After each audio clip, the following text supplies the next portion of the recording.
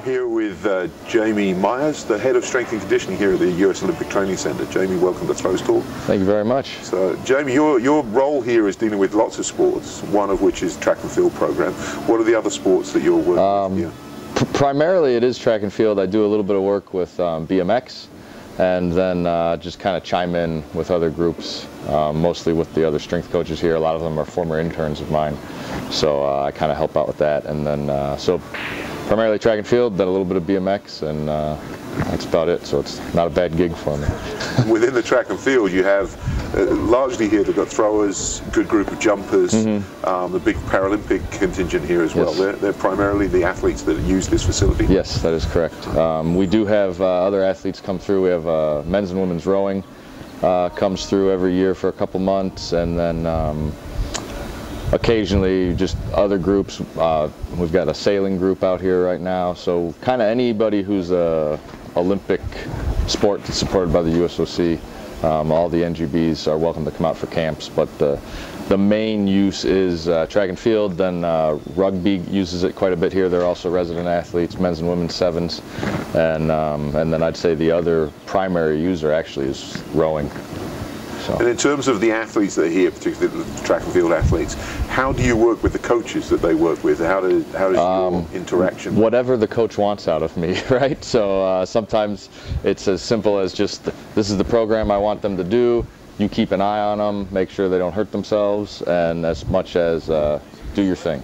So just kind of everywhere in between. It's a little bit everything. But I've seen you over the years here, and there's a lot of uh, the throwers, particularly, that you've had a lot of input.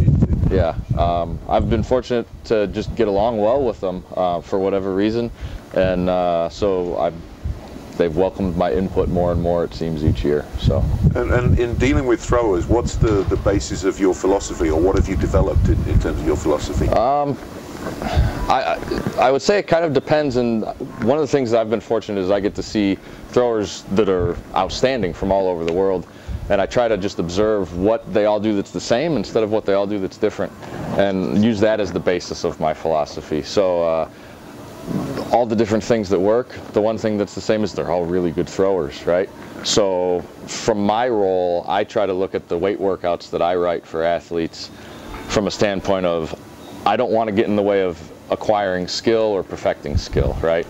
So, however that ends up looking, depending on what the coach wants or whatever, I tend to be very conservative, both with uh, load and volume, because I I just want them to be able to have really high quality practice and acquire their skill. And I don't want the weight room to get in the way of that, whether it's from a nervous system standpoint or just being so sore that you can't hold the positions that you want to be in. And I noticed with you, you actually spend a lot of time out on the field observing the athletes in their in their environment. Yes, yeah. yeah. I feel that that uh, is super important because it helps me understand the load that they're experiencing on a daily basis outside of the weight room. Um, I'm fortunate enough to be able to spend most mornings uh, down at the track either with the throwers or with the jumpers and I just try to observe and learn as much as I can from the coaches and from the athletes and um, yeah it's just it's kind of something that you don't really think about traditionally as you know strength and conditioning right it's a we get into it because we like lifting weights. And so our background typically tends to be weightlifting and powerlifting and oftentimes our the workouts we write for athletes reflect that as do the volumes and the intensities. And that's not always appropriate for an athlete who's spending three hours throwing or you know two hours warming up sprinting and jumping. So it's just it's inappropriate i feel. And um, so I try to spend time at practice to remind myself of that as, as often as possible. you also get athletes that come in here at a pretty good level. Correct. They come in maybe out of college, but they've achieved usually a, a, an IAAF A standard or mm-hmm. B standard in yep. order to gain access to this center. Yes. Um, so pre- presumably they come in with a pretty good strength base, perhaps? Most of the time. There, there's always, you know, exceptions to the rule, but uh, I personally feel that most of the kids that we get through here, their their physical capacity is not the issue, right? That's not why they haven't made a team or won a medal. It's uh, usually something technical, which again goes back to why I try to be real conservative. Um, some of them, the coach might want them to get stronger, and that that's fine, but it shouldn't be at the expense of the sport practice, right? right? It should be an assistance role for that. And you know, you you also look at strength and power. I know from talking to you mm-hmm. that that's a big factor as well. You're not over concerned with just strength. Correct. You're looking across the board at other things that help. Right. What do you do when you assess someone when they come in here? What, how do you think this is what they need to do? Um, there's not a, a, real formal assessment process. Uh, the, our sports medicine group does like uh, kind of just the general physical FMS type thing to give me an idea of uh, what orthopedic issues they might have. And then from there, usually we get them in the fall, so it's often for most of the kids base training stuff anyway. And um, I just try to observe, right? And uh, give them just kind of base training. We start off with, you know, your general kind of hypertrophy stuff usually. And from there, I kind of see where they're at and get a feel for how they move weight. Are they like a grinding athlete or are they pretty snappy? And uh, kind of go from there, to be honest. So it's, it's not a, a very formal process. It's uh, I'm sure plenty of strength coaches wouldn't be happy with it because it's just kind of like intuitive and I watch them and I communicate with them and I see what the coach wants and where the coach thinks they're at too. And you know, does the coach think that they need more maximum strength or their maximum strength is okay and they just need to move stuff quicker or is it kind of somewhere in between? Or am I given free reign? If I'm given free reign, I tend to not go the maximum strength route as much uh, as I do the uh, the speed, strength, and power route. And, and, you've also, as you mentioned here, you've got to observe a lot of international uh, international athletes that come right. in here. What's the biggest thing that uh, you've learned from them in terms of the approach that they make that perhaps is different from the traditional American-based system, college system? Right. I, I would say it, probably it was from uh, Derek and Dr. B. Um, and just like Derek explaining to me Dr. B's system. Um, which was hard for me to understand. But once I kind of wrapped my head around the idea that training is training, right? And um, strength coaches, we say that all the time. Oh, the weight room's just GPP, but if you look at the, a lot of the weight workouts, that's not reflected as such. Um, and so, like to, to actually think about it from it's all training. For me, that was like a big light bulb moment to think like it, the weight room is not a separate entity. It is just a part of everything that's happening. Um, as I talk to other strength coaches, one of the analogies, it's an extreme one, but I've been trying to like use an extreme one to get people to think, and I say, for a discus thrower, doing a power clean is the same as a power lifter doing dumbbell flies after their bench press workout. Obviously it's not, but from like a structure of a workout and training, it falls in the same kind of category, right? So who in their right mind is going to max out on dumbbell flies all the time? Yeah. So, you know, just kind of thinking about it like that and how important is it? How much emphasis are you going to place on it? How much energy are you going to put into it? As you know, energy being a finite resource, we can't just load people load people load people. You go throw hard for a couple hours and all right, let's do the Bulgarian method for our weightlifting. Like I, it's just crazy. Yeah. So. And, and Dr. Bondarchuk was here with uh, a number of athletes. Yeah, he's come out a lot. Um, it's been interesting. Uh, you mentioned it, observing him. It is a different approach. It's kind of flavour of the month, we might say. Sure. There's a lot of discussion about the Bondarchuk method, and, mm-hmm. and, perhaps not too many people really understand it very well. You had the opportunity to speak with Derek Evely, who, yeah. who understands it uh, uh probably as well as anyone. Uh, right. spent some time with him. Um, and did you get the chance to talk to Bondarchuk as well? I, have spoken with Dr. B uh, quite a bit. I've had a hard time understanding him all the time, to be quite honest.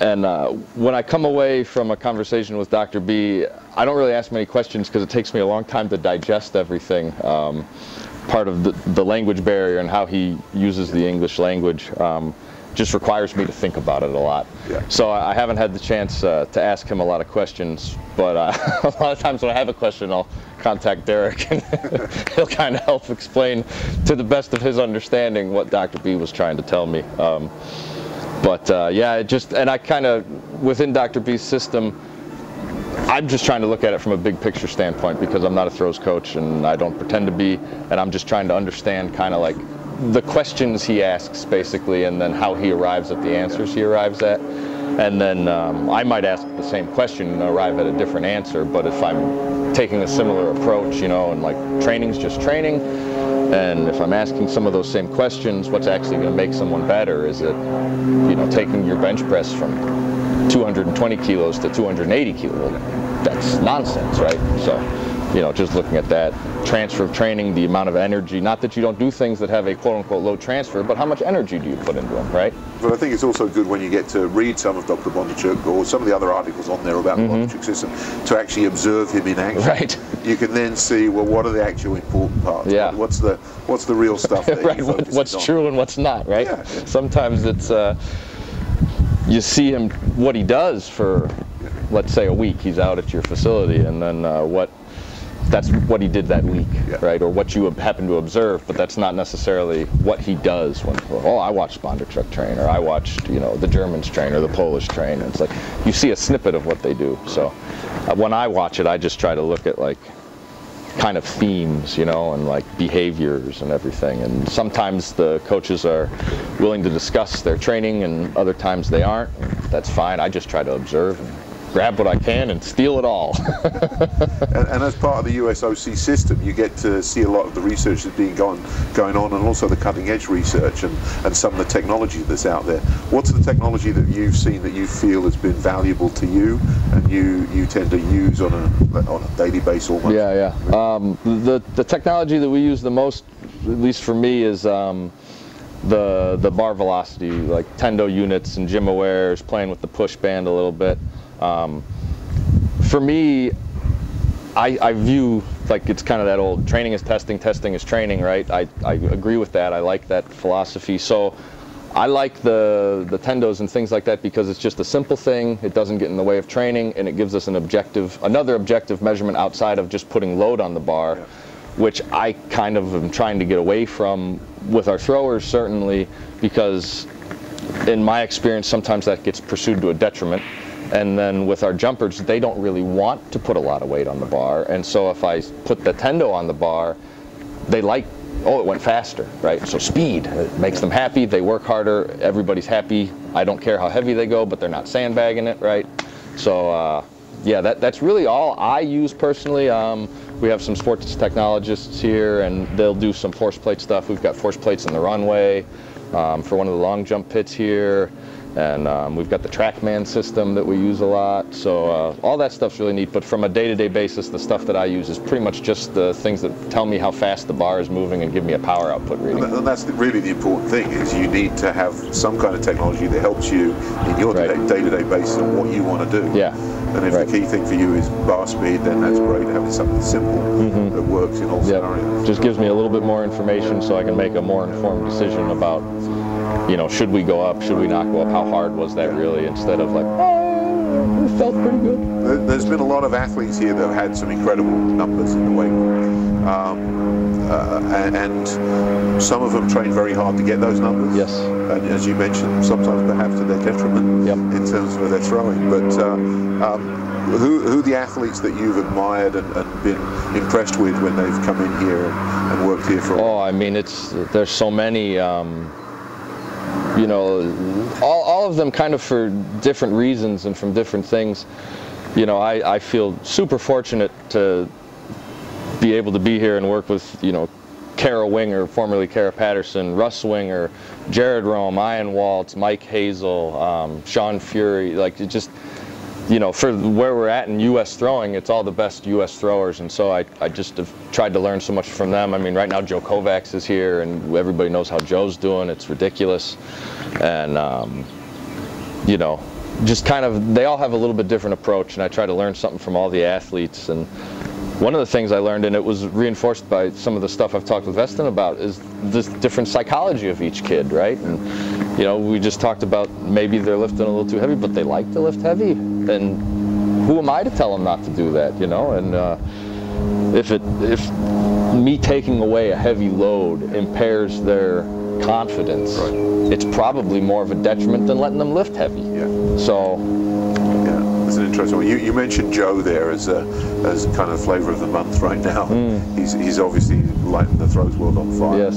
Um, when I spoke to Art about Joe, he said one of the differences between he and, for example, John Godina and John Brenner, the other 22 meter guys that Art's yeah. had under his tutelage, is that, Art, uh, is that Joe likes the weight room a little more.